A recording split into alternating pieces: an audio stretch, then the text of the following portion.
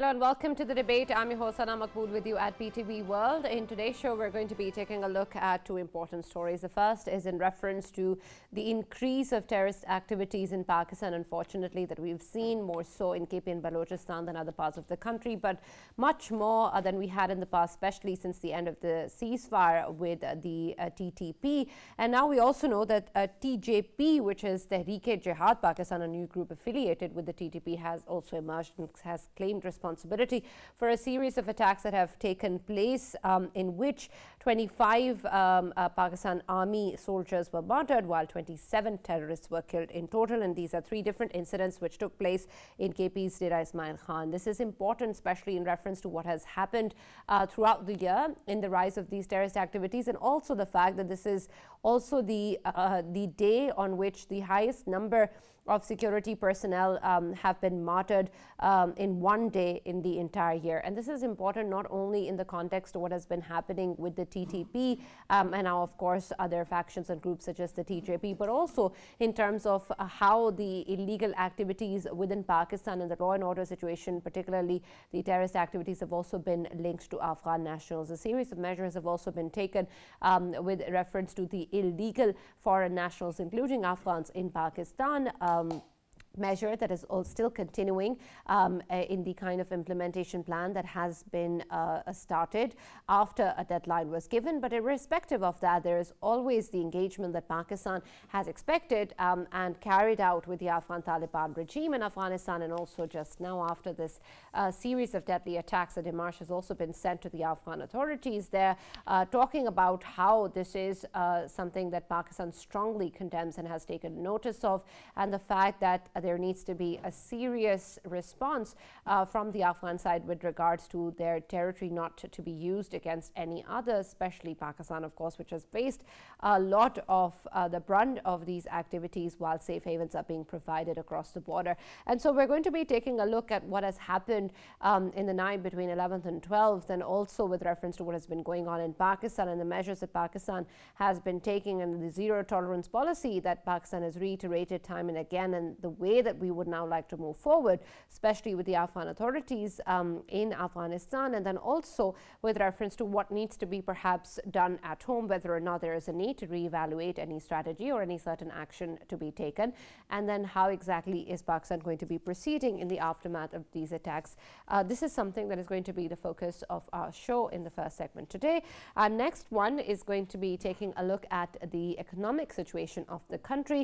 Um, in which the very important decision by the State Bank of Pakistan has also emerged, uh, in which the key policy rate has been maintained at 22%. And this is something that perhaps was expected by a lot of um, economic experts talking about how this is something uh, uh, that will be seen um, in, in the near future as well. But it is also expected that there is going to be a positive trajectory for the trend of inflation in Pakistan, while at the same time, um, a lot of the analysts have also talked about positive developments with reference reference to the uh, political and economic atmosphere within the country that has led to a lot of uh, improvements in many indicators, um, including, of course, we've seen the PSX um, also gain and once again uh, again uh, 400 points. Um, this is important, especially given the fact that um, there was a halt earlier that we saw yesterday, and what we, have, of course, have witnessed in the past as well, especially with reference to the first review of uh, the IMF, um, the staff level agreement of which has been achieved.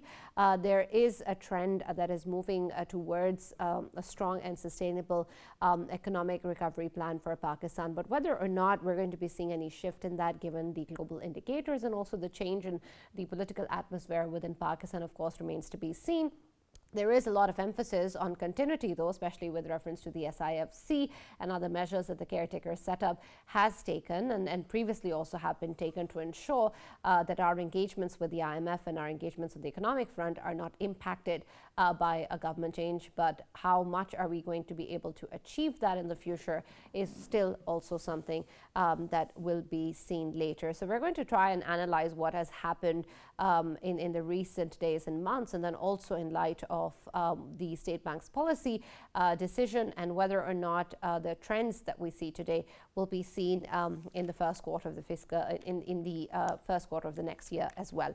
So that is going to be our discussion in the second segment of the show today. Um, for this and more, as always, I've been joined in the studio uh, by Raja Faisal, senior analyst, and also by Mr. Farrukh Pitafi, who's joined us online. Thank you very much, gentlemen, for being part of the show. We've also been joined by our guest online, uh, Brigadier retired Mr. Raashid Wali. Janjua is also Director Research.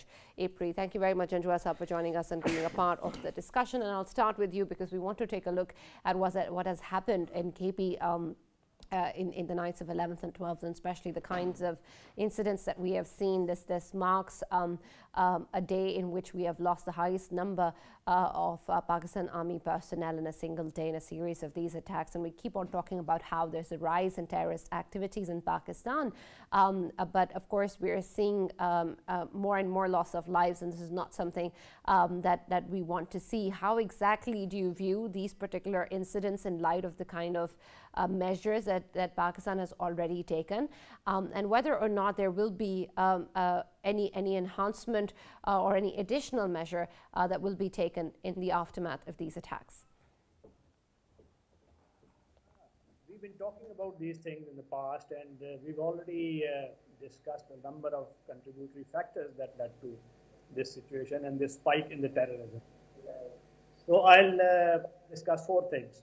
First is the first contributory factor is the Afghan interim government and its uh, lukewarm attitude uh, toward controlling this uh, terrorism on its own territory.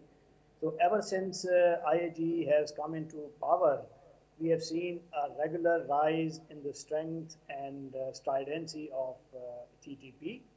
And uh, there, and we are not talking in um, theory. There is tangible, concrete proof technologically proven through electronic means that their handlers are inside Afghanistan and they were being given instructions uh, how to go about uh, planning this attack. And those have been, uh, you know, uh, those communications have been uh, intercepted and uh, there is a tangible proof of involvement of TTP on Afghan soil, using it as a base, as a sanctuary. So that's a very, very serious uh, issue, and I think we should take up this case at the highest possible forum with the uh, Afghan interim government, and uh, there's a need for a high-ranking, uh, uh, you know, delegation from Pakistan, comprising uh, security, diplomatic community, and others, to go and have parleys and lay out in front of Taliban, uh, uh, IAG government that uh, we must not uh, continue with this kind of uh, tolerance towards uh, you know militant groups on Afghan soil.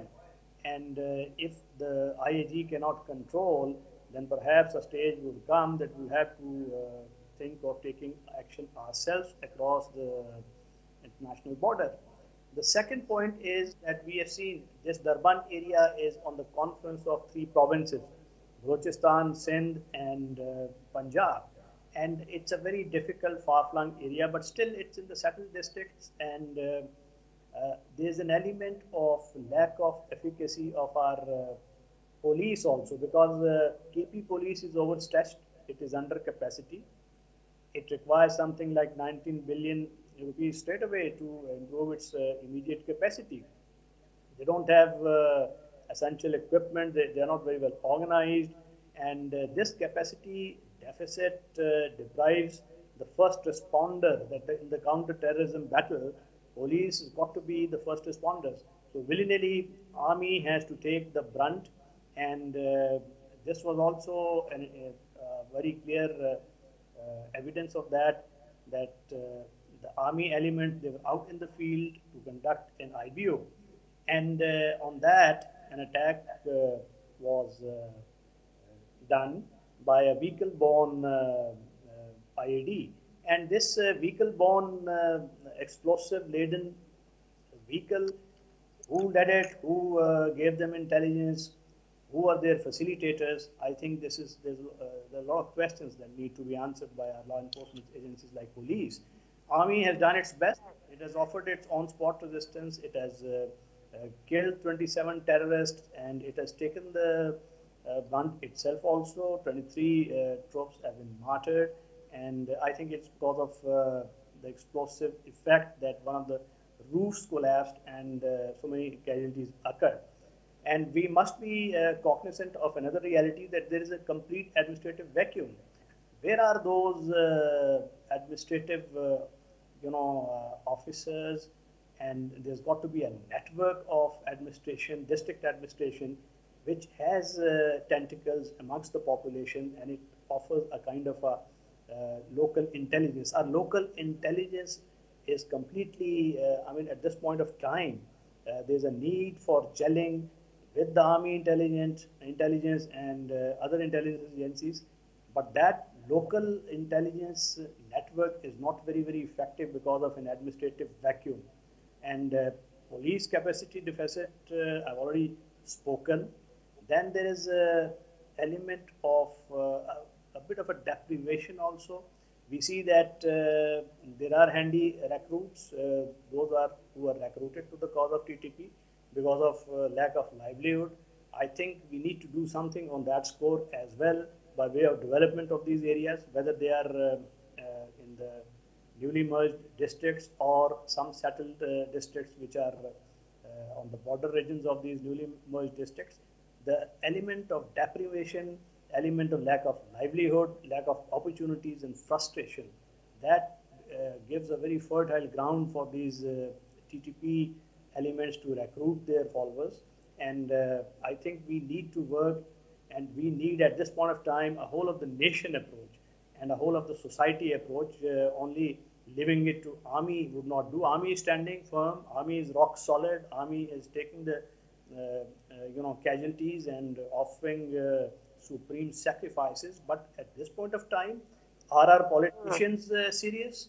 is the whole effort of the political government geared towards, uh, uh, you know, uh, giving this TTP threat a top priority, or their policy, you know, priorities lie elsewhere?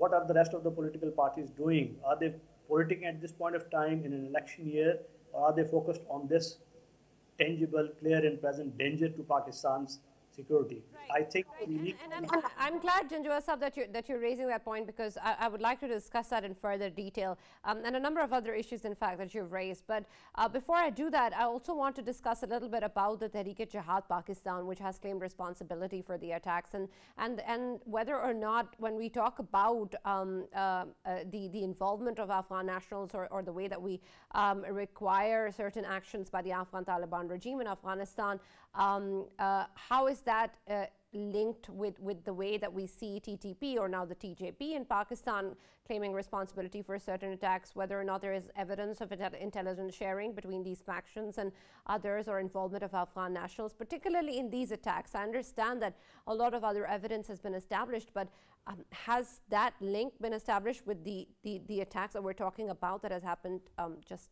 last night? Yes, Tehreek-e-Jihad Pakistan has a sectarian flavor and it is affiliated with ISKP. And uh, we know that in Afghanistan there are non-state actors like ISKP which are very active and uh, they have a different agenda, but they are all birds of the same feather. They share the same ideology, they share the same violent uh, propensity, but uh, their operative uh, uh, tactics are different. I, TJP has certain links with sectarian organizations inside Pakistan, inside Afghanistan. I think uh, uh, they are more focused on uh, their sectarian agenda. But once they see that TTP is making inroads, they make a common cause. And there are various factions of TTP which had their own internal differences, like Noor Wali Mehsud and Hafiz Gul Bahadur. They are also now gelling together. And it uh, appears as if somebody is choreographing their whole effort and from Afghanistan.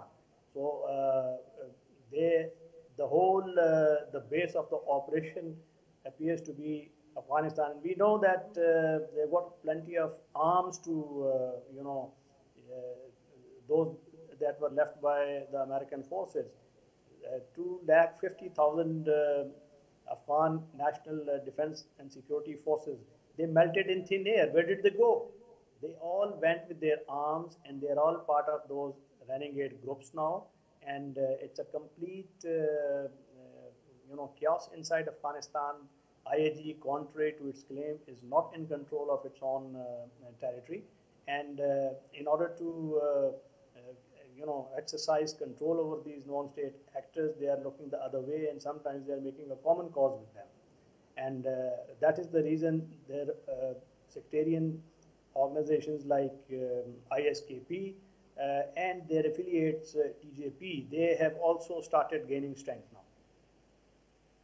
Right, absolutely. Um, and Farrukh, I'd like to take this further in, in terms of um, the kind of demarche that Pakistan has delivered um, to the Afghan authorities um, in Afghanistan. And of course, we've talked about the kind of expectation that we have or, or the need for, for the Afghan Taliban regime to step up and make sure um, that their soil is not used against any other territory. But of course, we haven't seen that um, as yet in, in terms of the kind of will or capacity that is needed.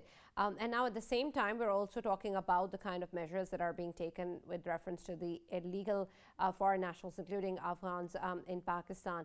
Um, and, and so while all of this continues, um, what really will be then uh, the way that this relationship is being taken forward with both the countries and how exactly then will the diplomatic or political channels be able to function um, while there seems to be a lot, a lot of trust deficit um, or, or, or, perhaps differing views and perspectives in terms of what um, one has to do and what the other expects. Uh, right, uh, Sana, thank you very much for the opportunity. Uh, in case uh, anybody finds the visuals a little bit patchy, I'm traveling right now. Uh, uh, regarding what you were saying, there are two aspects which are very clear that one has to actually point out. And one is regarding, you know, this low intensity warfare that continues unabated inside Pakistan and the elements that are actually doing it um, they're using Afghan soil uh, to carry out such attacks. Now, let me ask you, but just uh, this, uh, uh you know, uh, uh, thought experiment, indulge me a little bit. think that the similar kind of thing is happening in India, and then the people might be in Pakistan. What exactly will be the response of the world community? how will people actually address the concerns that we might not at that time have uh, the kind of capacity to control it. Right? Uh, the entire world will blame Pakistan for whatever happens there, despite the fact that it could be, uh, in some aspects, failure of the of the elements on the other part, other side. Similarly, whatever is happening right now, if it is happening in a, from Afghan soil, then it is clear that it is Afghan uh, government which is culpable, whether it is a transition government, whether uh, it is a caretaker or interim government. Uh, if you are in power, you're responsible for this. Now, um, I think that the government of Pakistan has actually put a lot of pressure, and there have been uh, signs that they might actually be trying to cooperate as well, the Afghan Taliban. Uh, but these, there is this a strange kind of alternative series or alter, alternating, uh, you know, attacks from various elements, right? On one side, uh, we keep on seeing TTP attacking Pakistani uh, authorities and people here. Then, as pointed, as was pointed out, that Brigadier Saab TJP is associated with ISKP, and ISKP is an organization that kept on posing threats to Afghan Taliban as well, even though incident of such a, uh, you know, episodes have uh, uh, gone down in Afghanistan. So Pakistan has to simultaneously uh, keep putting pressure on Afghan Taliban to actually own up and stand up against these elements and uh, weed them out from Afghan soil. Uh, on the other side, Pakistan has to actually prepare itself uh, uh, by, as was the, being pointed out earlier, that the civilian side, especially the political side, has to be more sensitive to whatever is going on. And instead of bickering, they have to focus on these uh, existential issues. So the question then is, Sana, uh, what exactly should be done? And uh, it is particularly regarding one consensus document that that we uh, accomplished, uh, you know, in 2014. Uh, two days, four days later, there's anniversary of that sad attack, which actually led to the national action plan. Now, I think that when, while we are actually implementing many of those points, uh, the civilian component actually is lacking. And why? Perhaps because politicians need a more detailed roadmap to agree on.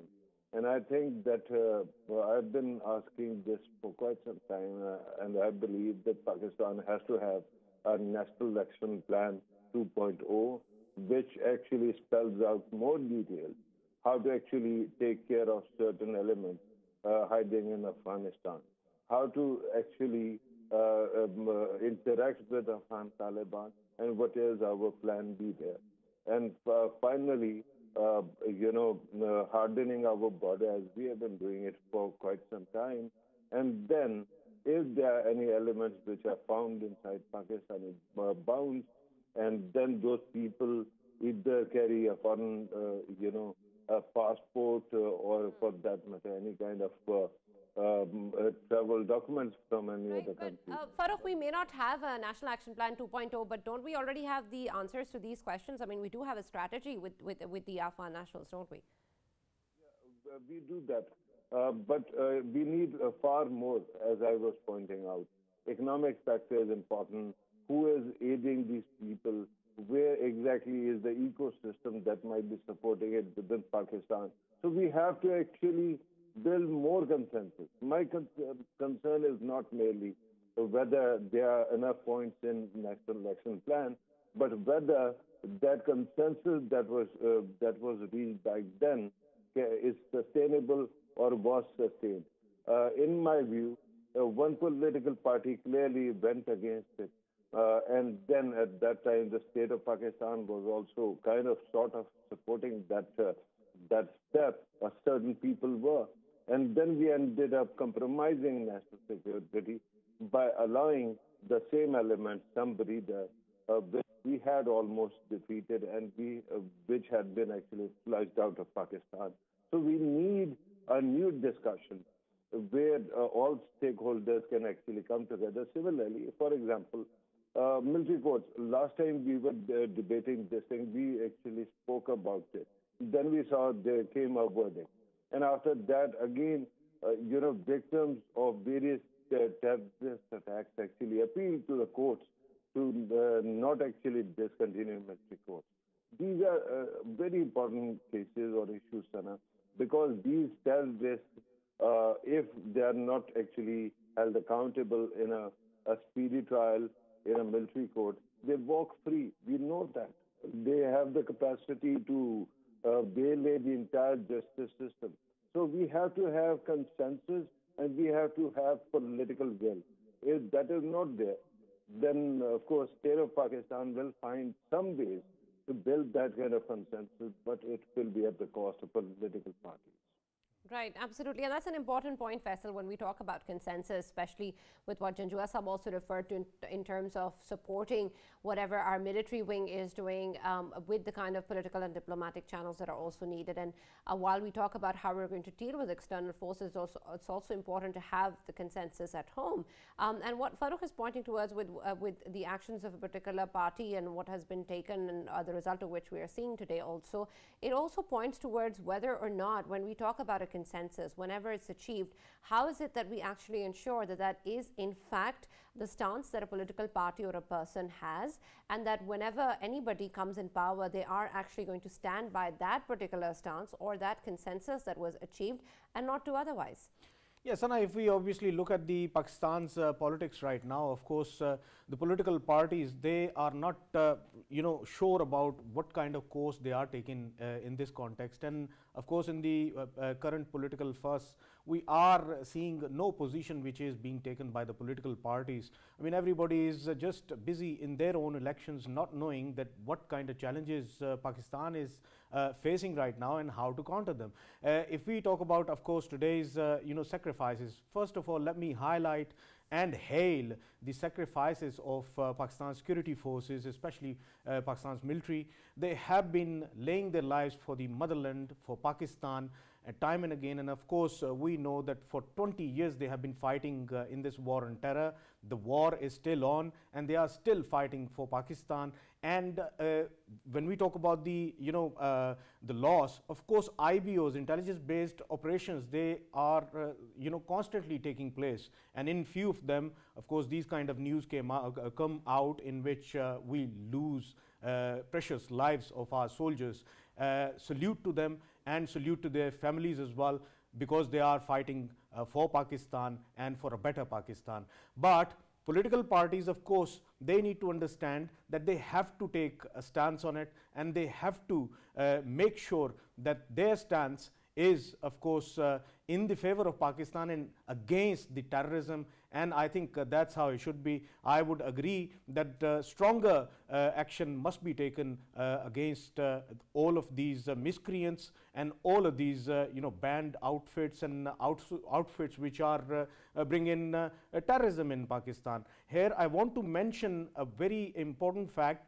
Earlier, of course, Brigadier Janjua was talking about ISIS-KP you know, ISKP, of course, it's an offshoot of uh, uh, ISIS. Uh, if we talk about ISIS ideology, ISIS ideology is, of course, that they categorize themselves, uh, different countries, in uh, three. Number one, Darul Khalafa. Number two, Darul Hijra. Number three, Darul Kufr. By the way, obviously, Darul Khalafa is Iraq and uh, Syria. And if we talk about uh, Darul Hijra, Darul Hijra is Afghanistan for them, where they have migrated to, and they are, uh, you know, uh, there in uh, three of the provinces, and that's where they are, uh, you know, originating from. All of the activities they are uh, originating from there.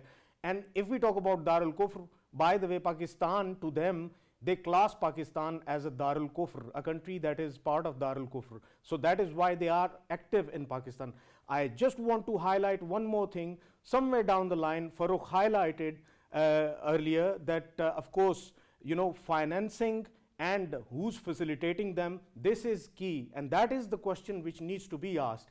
We know that there, there was a terrorist attack conducted in Sri Lanka, Colombo uh, church attack. We know that uh, ISIS, when it conducted it, when it was probed, the uh, few of the elements they were obviously connected to the dots were connected to uh, India. Mm. So India's involvement was there. Somewhere down the line, of course, as we know that the defensive offense is still going on by India in Pakistan. So these elements are being used, and I think it's not only important for Pakistan to know it and say it. It is important for uh, uh obviously Afghan interim uh, government as well. They must know and they should not be forgetting that while they were fighting against the Americans in Afghanistan, at the same time they were fighting against the ISIS as well. ISIS KP was obviously in a fight with the Taliban at the same time at that time. So I want to highlight this for Taliban regime sitting in Kabul that it is not only important for Pakistan to counter ISIS Khorasan, but it is important for them and for their security as well. So joint you know actions must be taken by Pakistan with the help of of course uh, uh, Taliban regime and Tal Taliban regime must own the Doha Accord as well because in Doha Accord they committed to it that they will never allow their land to be used against any of the neighboring countries including Pakistan. Mm. So it is important for them to sit with Pakistan and of course uh, bring a solution to this problem and this problem must be solved but as soon they, as possible. Are they going to do that? They must do it. They must do it, and I think uh, this demarche, which was, uh, uh which is obviously, uh, you know, handed over by uh, MOFA to AIG, hmm. I think it should be taken seriously. And if they do take some steps with the help of Pakistan, whatever the help they require in terms of countering, uh, you know, ISIS Khorasan, in them three provinces, Pakistan, I'm sure, will be able to help them and will be serious to help them okay. because this threat is not only for Pakistan, but it is for Afghanistan as well. Right, absolutely. But um, Janjua I want to understand then whether or not this is the perspective that is shared by the Afghan Taliban regime as well, that this is in the best interest of their own country. Um, I don't know if that, that alignment uh, will be possible uh, by sending out demarches or the kind of delegation uh, that you were also talking about. Haven't we already tried that um, and, and haven't really achieved perhaps what we were looking for? Is there something more that, that can be done diplomatically or politically uh, to achieve uh, sort of alignment that is needed? And if not, what you talked about earlier in terms of military action across the border, I want to also understand that while that may be um, a resort on the table that, that is that is there as, as a last resort, but why um, is it that when, whenever we, we talk about uh, the way that we expect certain actions from the Afghan Taliban regime, um, we still are uh, talking about uh, something that we have seen hasn't happened. Does that does that not make our demands or what we expect or uh, what our actions uh, are redundant in front of the, the, the, the, actions that we see in terms of terrorist activities? Where will we draw the line where we stop uh, the diplomatic or political effort and move towards the kind of military action that you were referring to? We have already uh, moved towards the military action. So, across the border across the border, but our border. We are practically in a war to be understood, and we need to get serious. We cannot let uh, our, uh, you know, uh, army uh, soldiers and officers uh, uh, incur such heavy casualties. I mean, they will stand up. They they are meant for that thing. Their their resolve is rock solid, and they'll take the battle to the enemy. In many ways, they are every day while you and me sleep, there are seven to eight incursion attempts from across the border which are being foiled by these Jawans. Now, these have to be given the strength uh, by our political uh, dispensation, and the government has to get serious. It has to seriously resource the and make up the capacity deficit. The police, uh, which is in KP, needs to be, uh, you know, uh, built up uh, on an emergency basis. Its capacity has to be increased manifold. And unless this is done, and the civil administration part I already alluded to, there is absolute vacuum of local intelligence. Where was that network of local intelligence of civil administration, which always tells you uh, the telltale signs that who is coming, who is going, who is living with these uh, tribes. Uh, a, a, vehicle comes laden with explosives, and it takes a lot of logistics. So why was this information not passed to uh, the intelligence agencies, which are already so overstretched and uh, they are fighting uh, on the entire uh, uh, frontier? so administrative vacuum, police capacity deficit vacuum, and unless we become serious and treat it as a whole of the nation problem, you know, this uh, heat will cross the Indus and start uh, impacting the settled areas. Like we are sitting and we're just commenting. Tomorrow we might be effectees because if we don't uh, uh put this uh, stop to this thing at uh, you know in these newly merged districts and the settled areas which are abutting the Afghan border, things could become very difficult for us in our settled areas as well. So this nation needs to uh, gird up its loins and the whole of the nation um, uh, effort is required. We need uh, capacity building of our civil administration and our entire criminal justice system has to be made, made responsible on an emergency basis to deal with this threat. And the military courts, which are much reviled, and everybody, uh, you know, uh, criticized those, I think we need to have a relook. Our judiciary needs to have a relook. If the criminal justice system is not responsive to right. terrorism, maybe this could be allowed. And uh, diplomatic part, yes, we need to we need to upscale our efforts. A high-level delegation led by no less than foreign ministers uh, and uh, other similar uh, important, uh, you know, members of the government. They need to go to a interim government and we need to leverage uh, their uh, Doha and Qatar uh, handlers. We need to speak to United States. We need to speak to China. We need to give them credible, credible evidence that look, This is what is uh, being done right under the noses of IAG. And if it doesn't stop, we, we have the rights to take the battle to uh, across the border. And uh, like uh, Americans were doing, they were using drones pretty effectively, and we have that recourse so far. There is some kind of restraint. So, uh, and uh, how long will it be?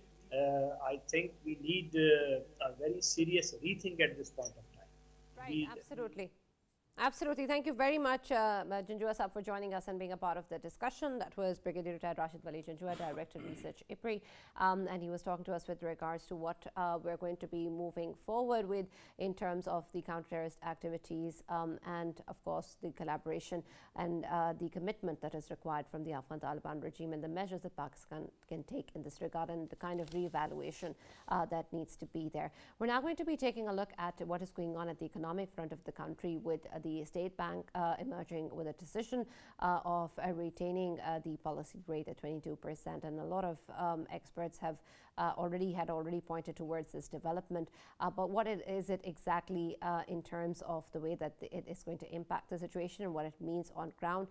we're going to talk now in further detail. And Farrukh, I want to take your perspective that while we talk about um, this policy rate, you've always mentioned about how high it is and how much it's impacting our economic situation. And, and this was something that, that a lot of experts have pointed towards also as, as an expectation that is going to retain. While we keep on talking about improvements um, in, in many indicators and the fact that Pakistan is now moving towards a better trajectory. Uh, we have the staff level agreement of the um, uh, first review of the IMF as well. Um, there are also, of course, trends that we have seen previously at the Pakistan Stock Exchange. Um, even then, we saw that the decision was taken that the policy rate is unchanged. Um, what do you think of this, and what exactly does this mean for us in terms of our economic situation now and in the recent future, and whether or not this was the right move at this point in time? Right, uh, Sana, thank you very much once again. This is an important question.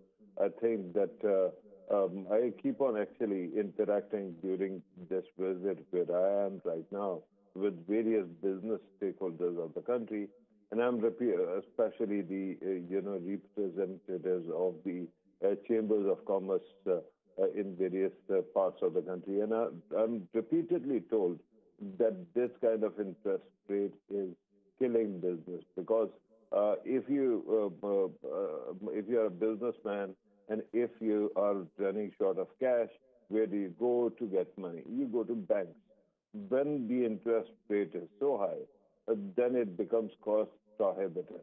And similarly, when you are an investor, you have money, and if you are getting this kind of returns on your money, which does nothing, uh, then you you uh, don't actually want to invest in various projects. So consequently, the economy does not grow, and uh, um, of course uh, that's why everybody suffers and because economy is uh, you know deliberately uh, slowed down, you cannot think of getting out of the vicious cycle which creates uh, all these problems. There's a counter argument also, especially by the experts, uh, and they say that whenever inflation is very high, in order to keep it low or in order to actually bring it down uh, or avoid hyperinflation, uh, you have to actually match the levels of uh, inflation with interest rates. Now, um, uh, because at this moment, when you talk about core inflation, that is hovering around uh, slightly over 20%. So that's why this interest rate has been kept there as well. Uh, the only problem is, and uh, remember, these policies are made because A, the uh, state bank is now autonomous and it is supposed to respond to these issues this way. Uh, on the other side, also, uh, you know, IMF also keeps on pushing for these kind of policies because they repeatedly said that it otherwise the alternative situation is that it might lead us into hyperinflation. But the problem is that inflation still is uh, uh, uh, we have clear evidence that interest rate is not controlling inflation. And that is because for past many years this has been happening. The government of Pakistan, State Bank of Pakistan kept the interest rate very, very high. And even then, the only benefit or, positive side that we saw was regarding current account deficit because people started um, uh, parking their hot money that they could have uh, they could uh, withdraw at very very small notice or very little notice. So with that kind of con- consequences, I think it is important. Of course, State Bank of Pakistan is going to do whatever it takes and whatever it is asked by the government of Pakistan, which is in agreement with IMF. And these are neo, neoliberal policies. So it is important that the government of Pakistan uh, talks to IMF, especially regarding uh, the interest rate. With this kind of interest rate, I don't think we will be able to control inflation. We will not be able to uh, ensure that the economy also grows. enough. Right, and, and Farrukh, why is it then that we keep on hearing about how inflation is going to get better uh, in the first quarter of next year? Uh, right. Uh, there uh, there are uh, two, two kind of factors, right? Uh, push and pull. one aspect is regarding supply and then demand also.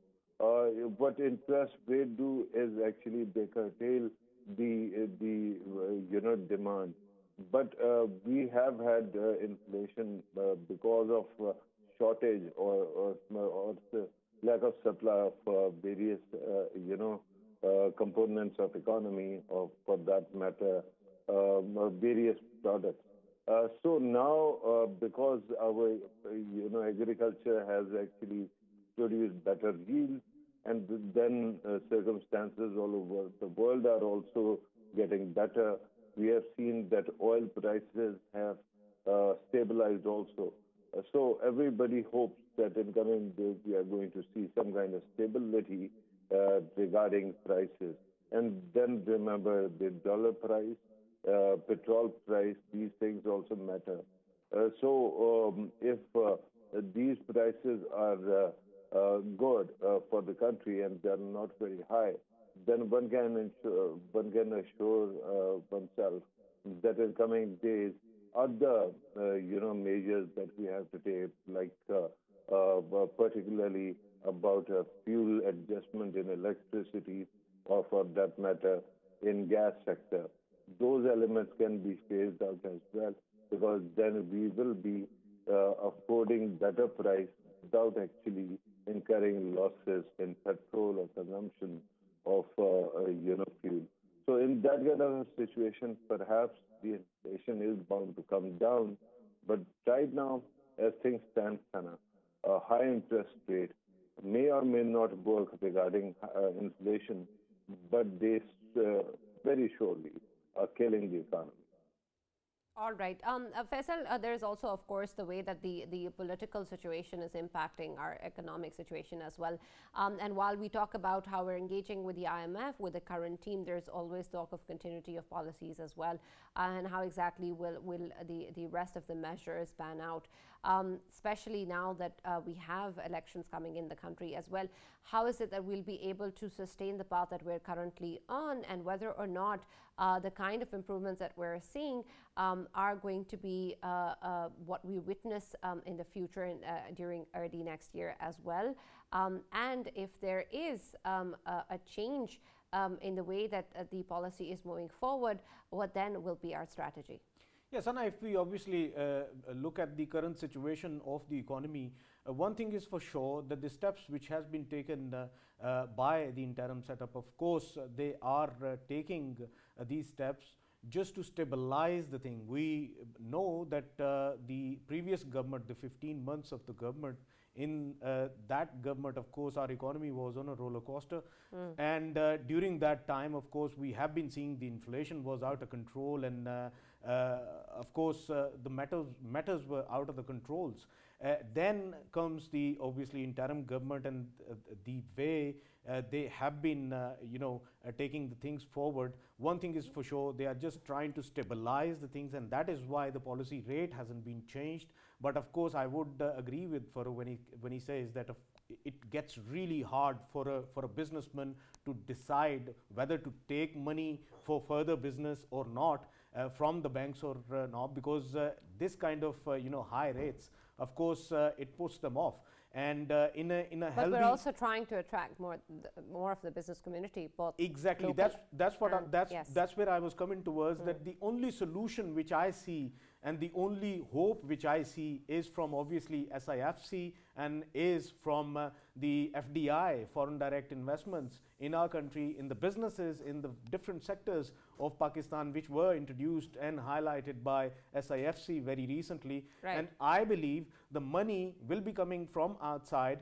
And uh, why everyone is saying that the next uh, uh, early quarter of the next year, uh, because it's uh, uh, of course it's an election year and uh, political stability would have a very positive impact on uh, economic uh, stability of Pakistan. And in that context, of course, we'll see that the political shift it will bring a positive effect. And uh, the new government of course would maintain itself and the uh, maintain the economic situation right of Pakistan. absolutely. And that that of course um, is the hope. And we we, yeah, we really hope that, that positive that's what impact we would see be seen. absolutely thank you Faisal and thank you Farrukh for joining us in the debate and we hope that whatever um, input uh, that we have so far received from the IMF and of course uh, the kind of financial teams that we have in place is sustained and right decisions are taken in the future as well to put Pakistan on the path of progress and prosperity including of course our counter-terrorist activities and more diplomatic um, and um, uh, military channels that are of course uh, in alignment with reference to what is going on in the country and we hope that that is what we see